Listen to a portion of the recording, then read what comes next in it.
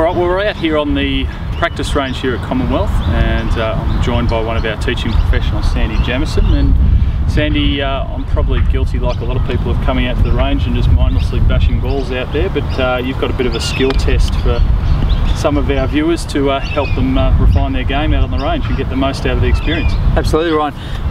The members would have noticed the flags out there and you've also seen the A4 sheet of paper in the ball hut I'm sure.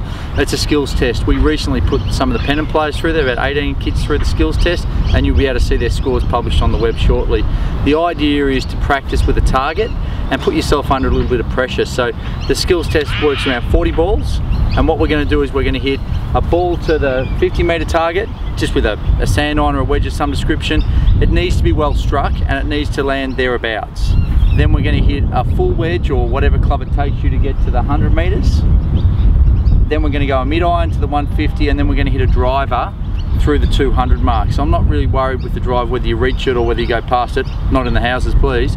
But what I want to do is do short or 50, 100, 150, 200 metres and we go in that order.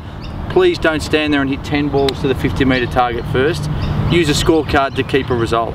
So effectively replicating what you're doing on the on the course and working your way through different clubs rather than just sticking with the same. Absolutely, and it's amazing if you watch the Port Phillip. Ryan um, Hamish Hufferdine, one of our guys, was the only guy who got to the match play. And when we did the skills test, he got the highest score on the skills test. So I think you'll find that those results replicate. Yep. Plus also when you practice on the range, it's really easy to get into a groove with a seven iron and hit seven iron after seven iron after seven iron uh, and feel good about yourself. Yeah. Sometimes when you do the skills test, you won't feel good about yourself, but it probably replicates golf a little more closely. So this is a, a, good drill that you use a lot with some of our pennant prospects you've done recently? Absolutely. Yeah, great. All right, well let's uh, show us how it's done. All right, we'll have a go. So I'll start with my sand iron. I'm just going to pitch it to the 50. I'm, look, I'm a little closer than 50 today. I reckon it's more like um, 25, 30 metres, but it doesn't really matter as long as I'm putting myself under some heat. So let's see how we go. I like that one. That's nice, that's one from one. Nearly hit the board. So then I'll go and grab my pitching wedge out. I'm going to hit the pitching wedge full. Um, so probably from here it'll go past the 100. But the flags, if it goes outside the flags it doesn't count. We'll see how I go.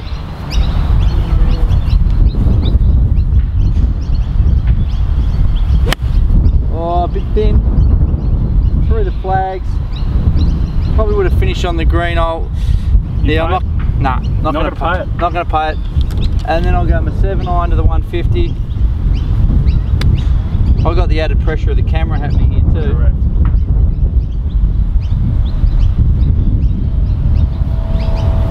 Oh, thin again. But That's through, I'll pay that one. And driver. This has been my nemesis, so be a little easy on yourself. That um, the flags down there, the white flags, they're actually just narrower than US Open width. So, so it's a really true test. It's a true test.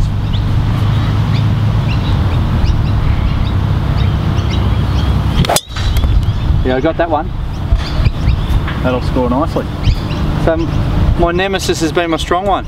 There you go. So you're three from four, and so basically we're asking uh, people to replicate that 10 times, and that'll give you a good score at the end of it out of 40. And you'll know whether the club's doing a fair thing by because you're supposed to get 40 balls in that bucket, so you should have exactly the right amount of balls. You'll probably find this practice harder because it's a true test of golf. But after all, if we want our practice to transfer out to the golf course, we need to put ourselves under some heat. Terrific. Well, thanks, Sandy. That's uh, a good drill for everyone there to try over the summer and uh, hopefully get the most out of your time on the range. Absolutely, and don't be scared to book a lesson to uh, see if you can improve that score. Spot on. Thank you.